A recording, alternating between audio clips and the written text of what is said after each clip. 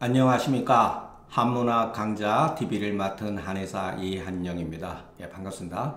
예, 오늘 시간서부터는 맹자 예, 본문을 시작하겠습니다. 그런데 예, 시작하기 앞서서 제가 그 지난 시간에 그 맹자 집주 그 서문에 해당되는 글을 예, 강의하면서 그 뭐랄까 말이 조금 헛나와 가지고 그 영조하고 정조 임금을 그 정종이라고 이렇게 부시식한에 예, 말씀드렸습니다. 그것은 예, 정조로 예, 지칭하겠습니다. 그리고 또한 그 한나라 때 중기에 최초의 어떻게 보면 문헌 교정 작업이 이루어졌는데 그때 유향과 유음의 부자가 그렇게 생각이 안 나더라고요. 예, 제가 무슨 준비를 한 게 아니라 그 강의를 하면서 즉흥적으로 하기 때문에 어떨 때는 이제 저도 기억력이 예, 굉장히 감퇴돼 가지고서 매일 말하지 않는 거는 그냥 바로 잊어버립니다. 그렇다고 뭐 메모를 할 정도로 그렇게 제가 시간을 많이 내서 준비를 할 수 있는 그런 상황도 못 되기, 못 되기 때문에 그냥 조문을 하다가 즉흥적으로 생각나는 것을 얘기하기 때문에 예, 저도 간혹 가다가 이름이 생각 안 나는 경우가 많이 있습니다. 그런 거는 여러분들이 이해해 주셨으면 좋겠으니까 중국 그 문헌의 최초의 그 뭐랄까 수집하고 교정하는 작업이 한나라 중기의 유향과 유흠, 유흠이라고 하는 부자들에 의해서 이루어졌습니다. 어떻게 보면 굉장히 중국 역사에 있어서 그 문헌학에 있어서 중요한 사건이죠. 그 작업을 요즘 그 그때 당시 글로 교수 또는 수교 이런 말로 씁니다. 그러니까 교수라든가 수교라고 하는 그 용어 속에는 그 시대에 어떠한 역사적 사건이 개입됐다고 하는 것을 여러분들이 이해를 하셔야 돼요. 그게 무슨 말이냐면 어떠한 용어가 가지고 있는 것이 그냥 새로운 뭐랄까 그 이면에 숨겨져 있는 역사적 사실을 이해를 해야지만이 그 의미가 명확하다는 거예요. 그러니까 그 유향과 유흠이 그 교수 작업을 하기 전에는 문헌을 수집하고 편집 다시 수정하는 그것을 하기 전에는 교수라는 용어와 수교라는 용어가 존재하지 않았다는 거예요. 마찬가지로 그 공자는 인을 한 개의 인을 얘기를 했다 하면은 맹자는 말할 때마다 인을 얘기했다. 그러면 우리가 글을 보는데 인을라는 말이 병기를 됐을 때, 아, 이것은 맹자 이후에 나온 글이구나. 아, 이것은 맹자의 영향에 받아서 나온 글이구나. 또 공맹도 마찬가지예요. 공자와 맹자를 이렇게 공맹이라고 병기에서 쓰는 기술하는 그 방법은 송나라 거의 송나라 이후에 그것이 관례적으로 썼다는 거예요. 그 전에는 거의 쓴 적이 없어요. 그리고 전국 시대에는 공자와 맹자는 비교 불가급의 사람이에요. 예. 공자는 굉장히 높았고 맹자는 그렇게 우리가 생각하는 거 높은 사람이 아니었다는 거. 예. 그것을 여러분들이 맹자를 읽으면서 그 조금 이해를 했으면 좋겠습니다. 자, 그 이제 강의를 예. 처음에 이제 양해왕 장구상 예, 첫 번째 글을 한번 보겠습니다. 우리가 맹자는요 글이 굉장히 쉬워요. 예, 이해 못할 게 없습니다. 그러나 우리가 글을 보는 데 있어서 중요한 게 있어요. 문, 사, 철. 이 관점에서 예, 봐야 된다는 거예요. 맹자의 글은 우리가 경서에 그래도 들어가잖아요. 그 철학, 철학적인 내용이 있죠. 그러나 맹자의 표현 기법은 뛰어난 문장력을 가지고 있다는 것. 예, 문장. 그리고 맹자에는 역사적 사실이 있다. 그렇기 때문에 문사 철이라고 하는 세 개의 장르는 알고 보면은 서로 이렇게 개별적인 그러한 그 뭐랄까 개념이 아니라 하나에서 이루어진 글로 봐야 된다는 거예요. 곧 뭐냐면은 맹자라고 하는 글은 문학적이면서 역사적인 사실이면서 철학적인 논리가 들어가 있다는 거죠. 예. 여러분 이거 이런 걸 보세요. 첫 번째 맹자가 양의 해양을 만나신대. 자, 이 양은 뭐라 그랬죠? 위나라라 그랬죠. 위나라. 예. 위나라 수도 대량이 대량을 말하는 거예요. 예. 대량에서 해왕을 만났다. 왜 그럼 이 나라는 어떤 나라냐? 이것도 이제 우리 뒤에 보면은 나옵니다. 예, 그러니까 우리가 이 같은 사실을 통해서 아 맹자는 위나라 해왕 시대의 사람이었구나라고 하는 것은 너무나 당연한 거죠. 그러면 이것을 통해 이 글을 통해서 이 문장을 통해서 맹자는 가공의 사람이 아니라 실로 존재하는 사람이라고 하는 것을 알 수 있고 그 사람이 어느 시대에 활약했다고 하는 것도 알 수가 있죠. 요 글 하나를 통해 가지고서 그러니까 우리가 단히 그냥 맹자는 양의 해왕을 만났다 이렇게 해석을 하면 안 된다는 거예요. 이것은 완전히 초보적인 거예요. 자, 그런데 맹자는 어떤 이유로 해서 해왕을 만났을까? 그것도 의심을 해야죠. 맹자가 양의 해왕을 만나고 싶다 해서 만날 수 있습니까? 아니죠. 양의 해왕이 맹자를 만나겠다는 의사가 전달되었기 때문에 맹자를 적을 한 거예요. 이것을 통, 이 글을 우리가 이해를 하려면은 그, 그 당시에 원래 제 나라에서, 예. 제 나라에서 그 이와 같은 예가 있었죠. 예. 직학이라고 해서 직학. 예. 직학. 예. 그 임치라고 하는 제 나라 수도 임치 성문의 뭐 동쪽인가 서쪽에 하나의 숙소 직학이라고 하는 숙소를 만들어 가지고서 그, 그 당시에 유명한 변론가라든가 학자라든가 이런 사람들이 기숙하게 하면서 여기에 머무르기 위해서 임금이 예, 부르면 만나는 거예요. 그 같은 제도를 모든 나라들이 했다는 거예요. 따라서 했다는 거예요. 예. 자, 양의 해왕은 위나라 임금 임금의 저후 위나라 저후인 영이다. 예. 이거 발음이 영인지 앵인지 제가 찾아보지 못했습니다. 예. 대량의 수도를 대량으로 정해서 참남하게 참이라고 하는 나쁜 글자라고 그랬죠.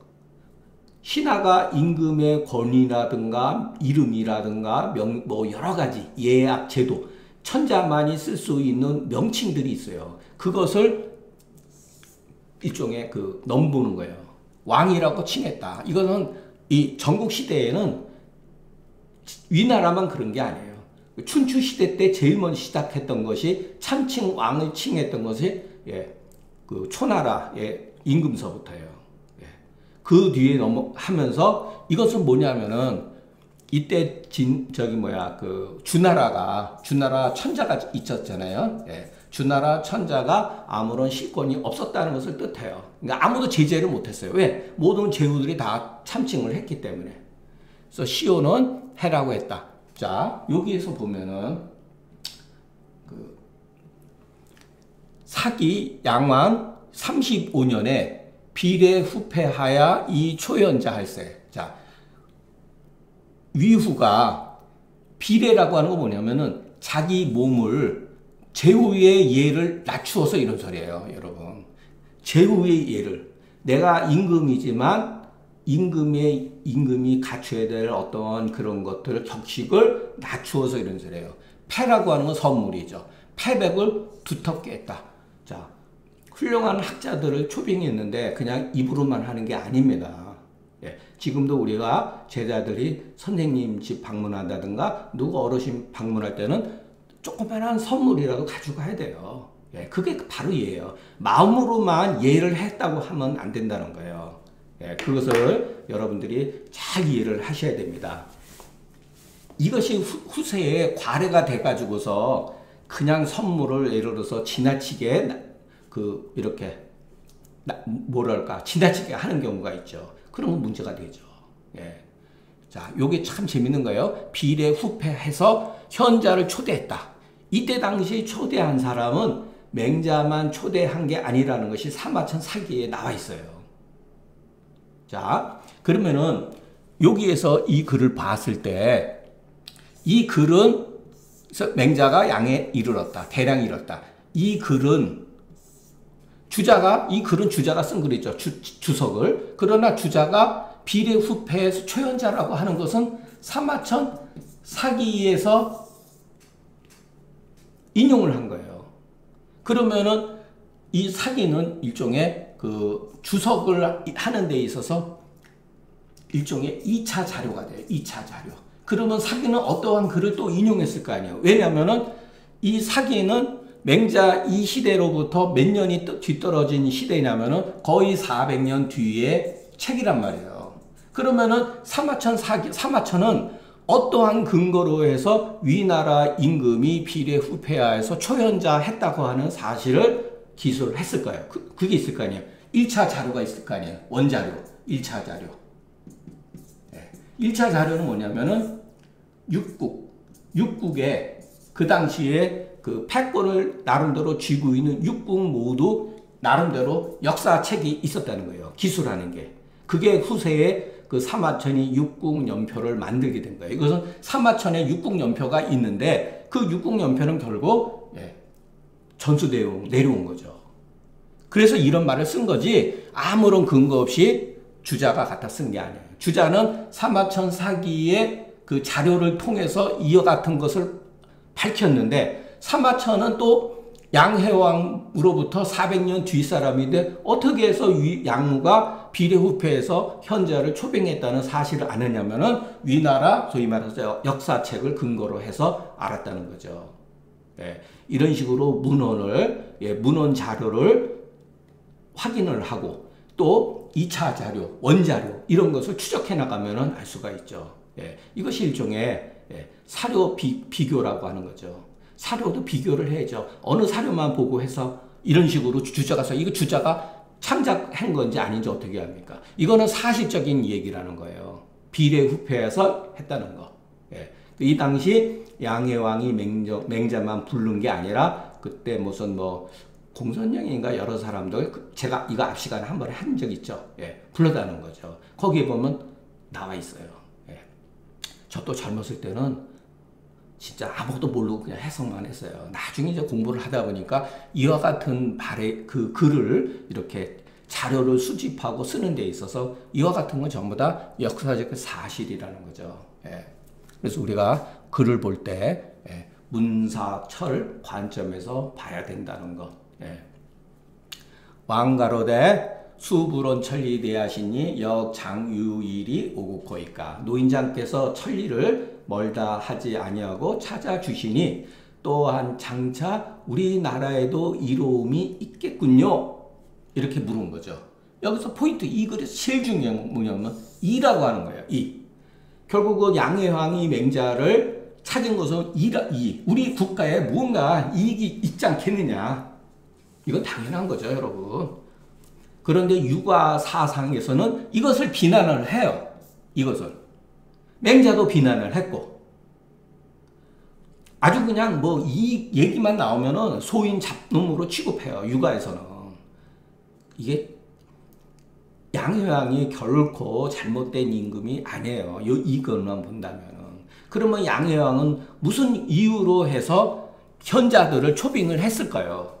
이때 당시 진나라 상황에 의해서 소량이 공격을 당해가지고 수도를 옮길 수밖에 없었어요. 이때 굉장히 위나라가 국토가 막 축소되고 전란에 시달리고 예, 기세가 꺾여 있는 상태예요. 그러니까 뭔가에 다시 새로운 인재를 등용을 시켜가지고서 국가를 혁신시키려고 했던 거예요. 그래서 이라고 물어본 거예요. 그러니까 이 질문은 잘못된 게 아니죠.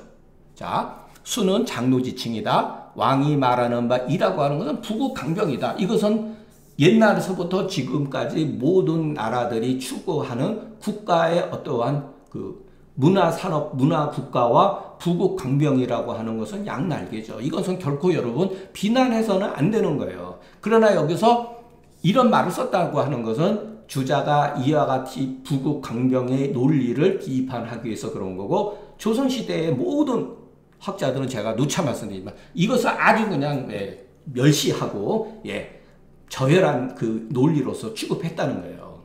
예, 그러니까 우리 조선시대가 예, 문약해지고 부국 강명하지 못했던 거죠. 맹자가 대하가로되 왕은 자 여기서 이 맹자의 말투를 여러분이 하셔야 돼요. 자 이렇게 질문을 했는데 맹자가 어떻게 했냐? 태뜸한다는 소리가 하필 임금께서는 하필이면 이를 말씀하십니까? 또한 인의가 있을 따름입니다. 여기서 이 방점이 여러분 하필이라는 그 많은 말 중에서 하필이면 이런 소리. 이것은 굉장히 여러분 그 양해왕이 질문에 대한 맹자의 대답은 굉장히 나쁘게 말하면 오만한 말이에요. 오만 방자 한. 나쁘게 말하면 오만. 좋게 말하면 이게 영의 자질이에요. 이게 영이에요. 예, 이, 이 말이.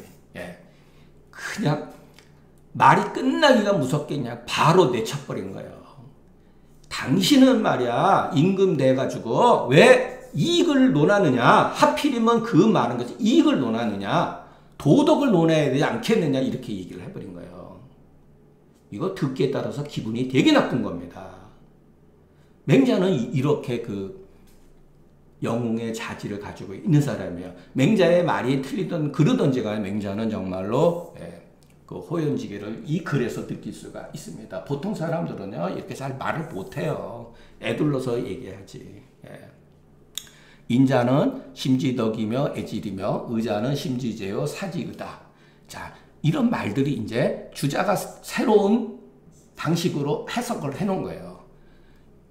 논어를 해석하는데 어떨 때는 인을 심지덕으로 말하는 경우도 있어요. 어떤 경우는 어떨 때는 에 이치로서 말하는 경우가 있어요. 그것은 뭐냐면은 공자가 말하는 그, 그 인에 그것이 어디 기준에서 말을 했는가에 따라서 주자가 덕으로서 표현한 경우도 있고 일이로서 그러니까 심지덕으로서 말하는 경우도 있고 에 이치로서 말하는 경우가 있어요.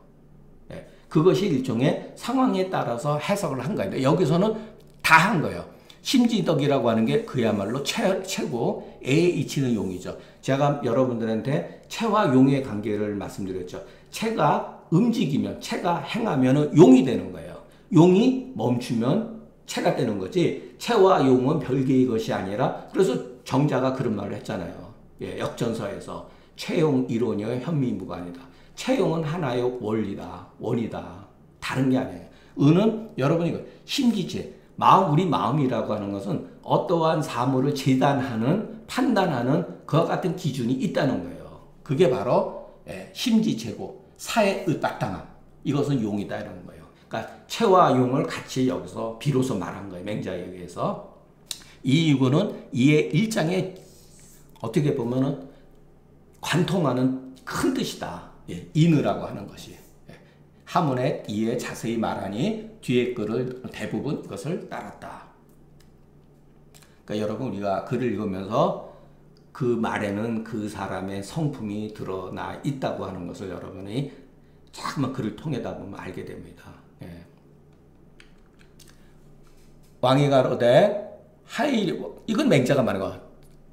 임금님께서 어떻게 해서 우리나라에 이렇게 어떻게 할까라고 말씀하시면 그 밑에 있는 대부분은 어떻게 해야 우리 집안을 이룰까라고 말하게 되고 또 그 대부분 밑에 밑에 있는 선미와 서인들은 어떻게 해야 우리 우리 집안 나, 나 자신을 자신에게 이룰까 해서 상하가 서로 간에 이익을 다투게 되면 나라는 위태롭습니다. 자 여기서도 우리가 또 하나 간접적으로 배우는 사실이 있습니다.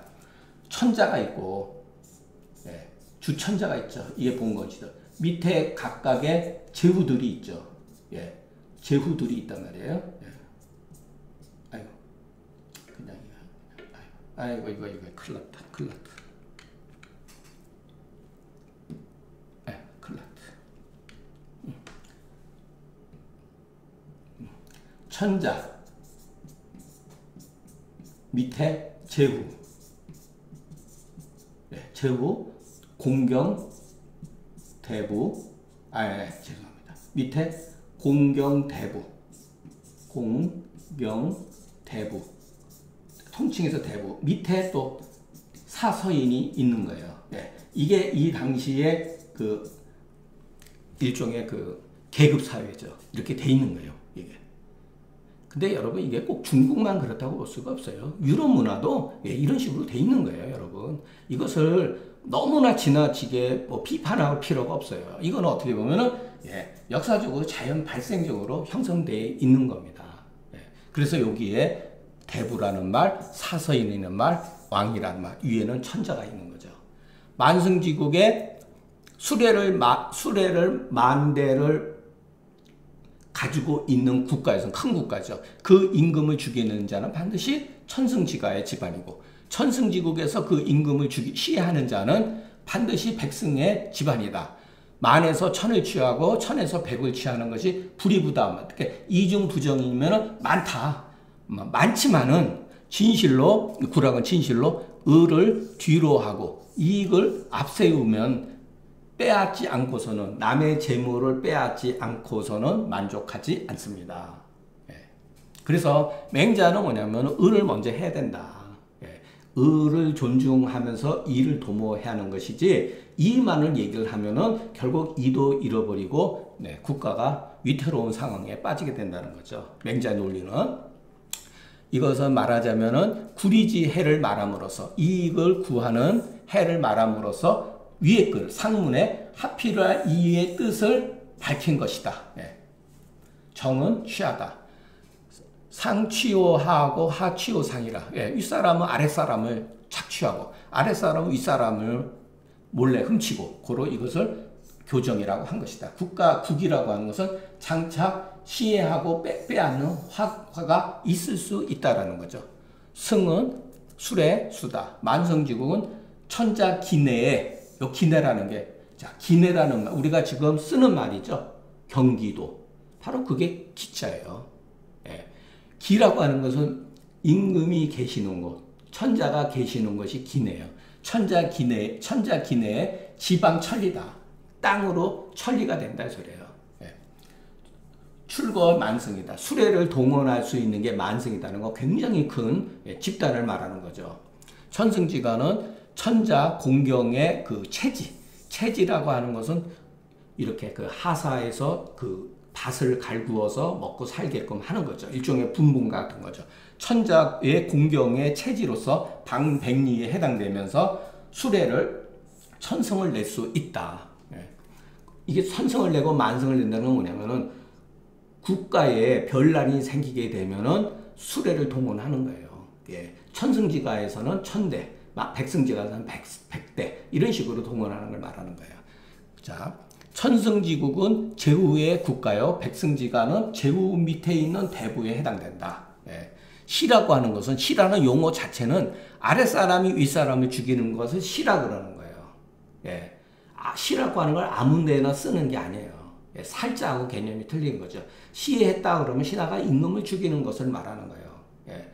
옛날에 종, 머슴이 주인을 죽이는 것도 일종의 시해죠. 예.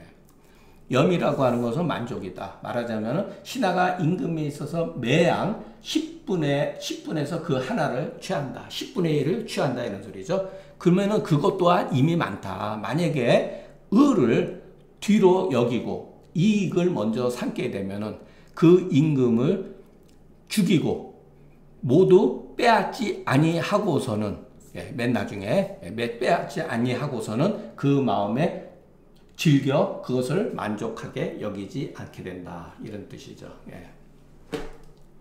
하, 여러분 그 실질적으로 나중에 그 뭐 제가 춘추 자전을 여러분들과 같이 읽겠지만은 우리가 생각하는 것만큼 그렇게 도덕적이지 않다는 거예요, 여러분.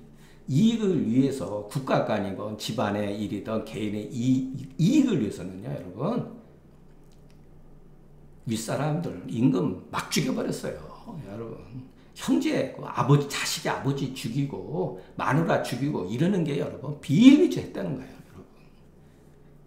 그러니까 그 당시에 여러분 공자라든가 맹자가 그와 같은 것을 그냥 계속 얘기한 것은 시대의 그 난국을 그것을 정리하는 것은 예, 어떻게 보면 인의 정책, 도덕의 어떤 바로잡은 이것도 틀린 거는 아니에요. 그러나 결국은 현실적으로 뭐냐면은 법가가 예, 등장을 하게 되죠. 전국 시대에 예, 전국 시대에 새로운 학파가 기존과 다른 법가가 하는 거죠. 결국은 국가는 법에 의해서 다스려져야 된다는 거. 예. 미호인이 유기친자여며 미호이 후기군자이라 어질면서 그 부모를 저버리는 자가 있지 아니하며 의로우면서 그 임금을 뒤로 물리는 자 있지 않다. 예. 이렇게 써도 되고 미유를 맨 뒤에 써도 돼. 인이 유기 친자 여기에다가 미지 유아니라 예. 이렇게 써도 되죠. 똑같은 글입니다. 미지 유아니라. 예. 이것은 말하자면 인을 하면은 미상부 이하다 소리예요. 예. 인의가 본질이고 인의가 인의를 먼저 이렇게 그 시대가 존중을 하고 인의를 추구하게 되면은 이롭다는 거예요. 예. 그러나 사람들은 급하거든요. 예. 이가 이로운 줄만 알고 인의가 이로운 줄을 알지 못하죠. 사람들은 그렇게 보통 좀 이해를 못하는 거예요. 만약에 모든 사회가 이익만을 다투어서 추구를 하게 되면 정말 예, 양육 강식의 시대가 되고 그것도 혼란하게 되죠. 예, 이것 또한 그 윗글에 여규 인의가 있을 따람이다고 하는 뜻을 예, 밝힌 것이다. 유는 버린다. 후는 급하게 여기지 않는 것이다. 말하자면 인자는 반드시 그 부모를 사랑하고 의자는 반드시 그 임금을 먼저 급히 여긴다. 예. 고로 인군이 몸소 인의를 행하고 이익을 구하는 마음을 없으면 그 아랫사람이 백성들이 변화해서 스스로 자기에게 친하다고 떠받들게 된다. 여기 해석에서 스스로 자기에게 친하고 떠받들게 된다. 예, 자연적으로 그렇게 되는 거죠. 예. 왕은 또한 인의 이은이 하필할 있고 또 뒤어서 왕께서는 반드시 또한 인의가 있을 따름입니다. 그러니 어찌 반드시 일하고 하십니까? 이렇게 말한 거죠. 중원자에 거듭 말하여서 위에 윗글의 양절의 뜻을 결론 지은 것이다. 자, 이런 말투 앞으로도 계속 우리가 맹자를 읽다 보면은 주자가 그 맹자의 그 말투를 보고서 뭐라 그랬냐면은 어 제가 그 원문은 잊어버렸는데 주자서에 보면 거기 나와요. 마치 손으로 치고 발로 차는 것 같다 그랬어요. 손으로 주먹으로서 상대방을 가격하고 발길질 했다는 거예요. 이 말투 자체가. 이것뿐만 아니라 앞 뒤에 계속 나오는 그런 맹자는 그런, 사람이라는 거예요. 공자는 이런 식으로 말을 하지 않아요. 극단적으로 얘기를 하지 않아요. 그러니까 처음 공부하는 사람들에 있어서는 맹자를 읽어보면 재미있죠. 예, 뜻이 분명하고. 그러나 그 맹자가 젊었을 때 너무나 이, 이 말을 주장을 하고 예, 의를 조금 그러니까 아, 의만을 주장하고 이를 멀리하고 이거는 소인이고 예, 소인이고 의를 주장하는 군자다 이렇게 이분적인 논리를 조금 문제가 있다는 거죠. 예. 이거는 조심을 해야 돼요. 그래서 그 주역에서도 원형 니정이라서 원형 이정 하늘의 천도는 원형 이정이라서 이 이를 뭐라고 했냐면 의지화다. 의, 의지화. 네. 의가 조화로움을 갖는 게 이다 이렇게 했어요. 여러분 이거 생각해요. 그러니까 이와 의는 그렇게 멀리 떨어져 있는 게 아니에요. 어떻게 보면 동전의 양면과 같은 거예요. 예. 그래서 우리가 글을 볼 때 잘못 너무 지나치게 의리, 의말을 주장하고 이익을 무시해서는 안 된다. 예. 물론 너무 전적으로 시대가 이익만을 쫓아도 문제가 되지만 예, 이를 멸시해서도 안 된다는 거죠. 예. 이 장은 말하자면 인은 예, 인심의 고유한 데에 뿌리를 두어서 이 고유라는 용어도 우리가 많이 쓰죠. 고유한 거. 예, 예, 이거 뒤에 가면 나와요. 맹자에서 나오는 말이에요. 그러니까 우리가 사용하는 용어 중에는 수천 년의 역사를 가지고 있다는 거죠. 야, 인심의 고유한 거다. 그, 그리고 천리의 공이다. 이렇게 표현했죠. 천리의 공적인데. 그런데 이심은, 이, 이익을 추구하는 마음은 무라지 생애, 무라지, 생어 무라지 상형에서 생했다. 그러니까 여기서 물이라고 하는 건 뭐냐면은 어떠한 사물을 말을 말하는 게 다른 사람과 나와의 관계에서 예, 생기는 거다. 아니면은 정말로 어떤 물질적인 것, 것이 서로 어떠한 서로 간의 형체를 이루어지는 데서 생해서 이것은 인욕의 사사로움이다. 이렇게 예, 극단적으로 분리를 했다는 거예요. 하나는 천리고 하나는 인욕이다.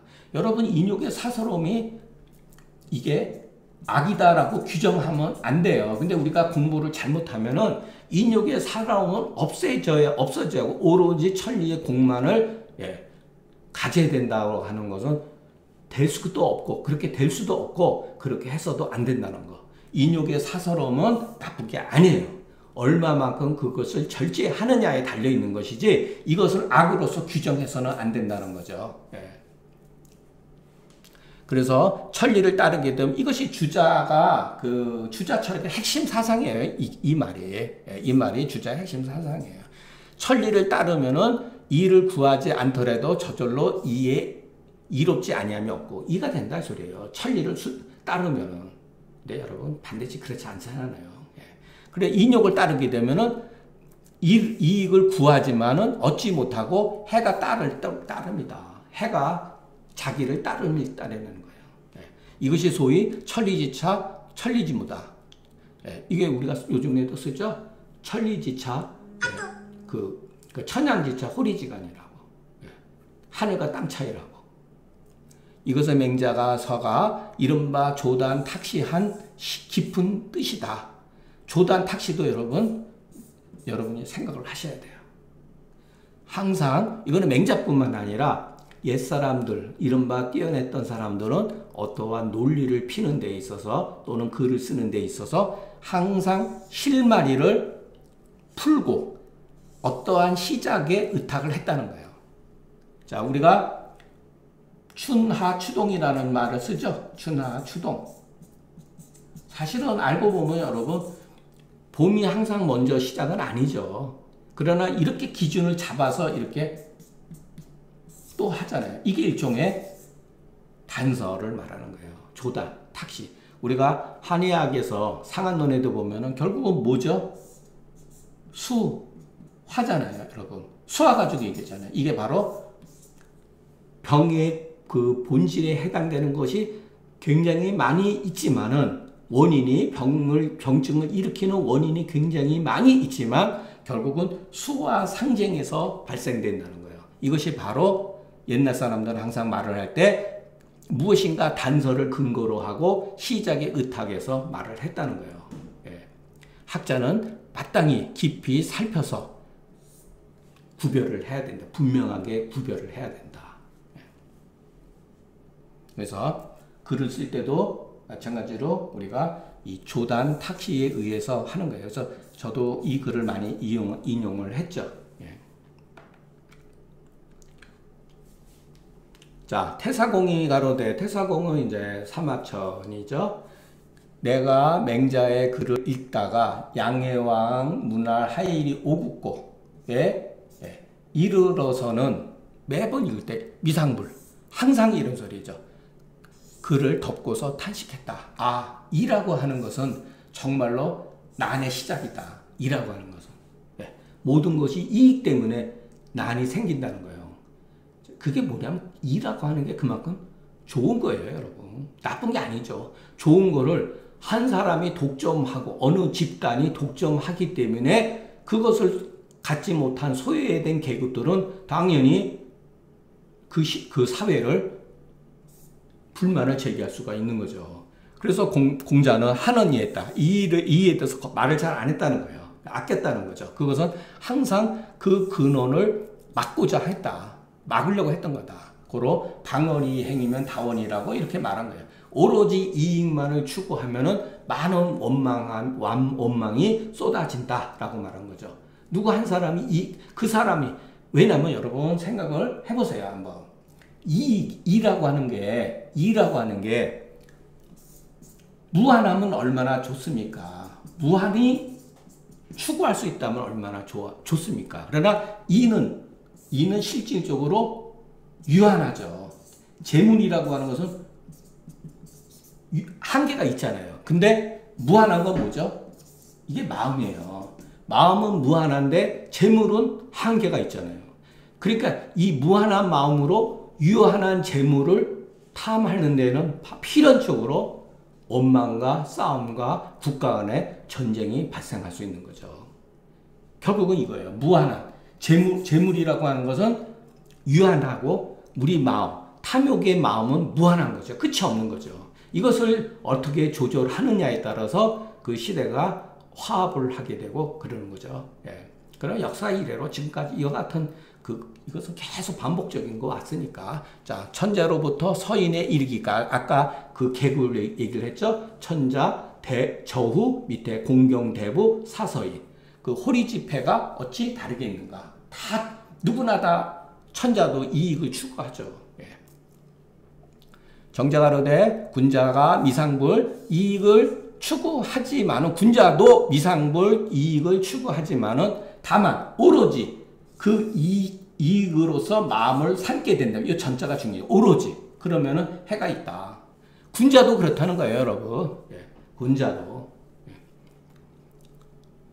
오직 인의인즉 이 일을 구하지 않더라도 저절로 이롭게 된다. 이때 이 시대에 천하의 사람들이 오직 이익만을 추구하고 다시 인의가 있음을 알지 못했다. 그러므로 맹자가 인의를 말하고 의를 그러니까 이를 말하지 않았다. 이것은 소위 발본세건에서 우리 발본세건이란 말 지금도 쓰죠. 예. 뿌리를 자르고 그 무대 근원을 막아버리는 것. 예. 그래서 그 폐단을 구하니 이것이 성인의 마음이다. 예. 물론 의도는 좋지만 실질적으로 그 주자 철학이라든가 맹자의 글을 읽다 보면 여러분 이 일을 막 지나치게 나중에 너무 나쁘게 표현하는 말이 많습니다. 그래서 마치 정당하게 열심히 일해서 돈 버는 거를 죄악시 여기고 소인놈처럼 취급하는 마음을 들게 하게 돼 있어요. 그래서 이게 문제가 되는 겁니다. 예.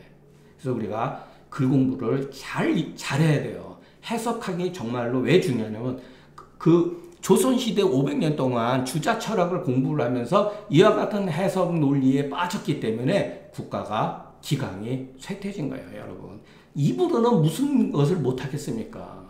속으로는 전부 다 이익을 추구하면서 다 이익을 주겠잖아요, 양반들도. 여러분, 퇴계 선생이 얼마나 부자인 줄 아세요? 노비가 얼마나 많은 줄 아십니까? 땅이 얼마나 많은 줄 아십니까? 그 양반이 애헴거리고서 이익을 도덕을 강의하고 그럴 때 밑에 있는 노비라든가 이런 사람들은 인간 대접도 제대로 못 받은 거예요. 그것은 그 시대의 정당한 뭐 시대상이었다. 이렇게 말을 해서 하면 안 되죠. 예. 조선 500년 동안 어떠한 사람도 소위 말해서 적서 차별하는 데 있어서 서인들을 그 벼슬길에 열어줘야 된다라는 것이 조선 중기 때부터 나오기 시작해요. 율곡 선생도 했어요. 그러나 노비를 해, 노, 요즘 말로 노비를 자유인으로서 해방시켜야 된다고 말한 것은 조선 500년 없었다가 갑오경장 때 김옥균이가 그 하면서 비로소 나오기 시작한 거예요, 여러분. 예. 그러니까 사람 취급도 안 했다는 거예요, 전부 다. 예. 그러니까 선비들 글 공부하기는 여러분 딱 좋죠. 예. 선비들이 공부하고, 예. 자, 이익을 자기네들은 인의를 주장하고 도덕만을 얘기하고 이익을 추구하는 건 누가 하죠? 전부 다 노비들이 하는 거예요, 담당을. 그러나 실제적으로는 양반 계급들이 다 독점하고 있었던 거 아니에요. 예. 자, 제가 뭐 조금 흥분도 하겠지만 맹자의 글을 읽다 보면은 약간 왜냐면 저도 그 맹자에 대한 어떤 그 뭐랄까 피해 의식이 있어요. 젊었을 때. 너무나 이런 데에 빠져 있어가지고 이런 세계에 매몰돼 있다가 저도 정말 뭐 집구석 다 한 번 다 말아먹었어요. 예. 그리고 나서 아 이게 이 글을 이렇게 읽는 게 아니었구나라는 거를 알게 됐습니다. 그래서 여러분 젊었을 때 20대 때 좋은 제도, 저도 좋은 선생님을 만나서 공부했지만 주자 철학에 매몰되고 30대 넘어가서 여기서 이제 벗어나기 시작한 거예요. 그 제가 한의학 공부도 마찬가지고 예.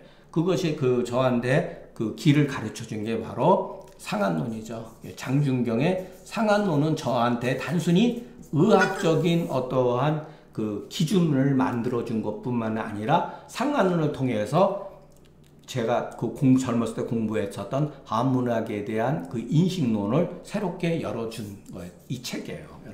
그래서 제가 쓴 상한론을 그러니까 중경서 독법을 여러분 그 나중에 사서 상경을 공부하시고 다시 보면은 더욱더 모르고 읽었을 때보다 한 번 사서 상경을 읽은 다음에 제 그 중경서 독법을 읽으면은 훨씬 더 이렇게 마음에 이렇게 다가올 수도 있고 아 이 사람이 이한영 이 사람이 왜 이런 말을 썼는지 여러분도 예, 저절로 이해하게 됩니다. 예.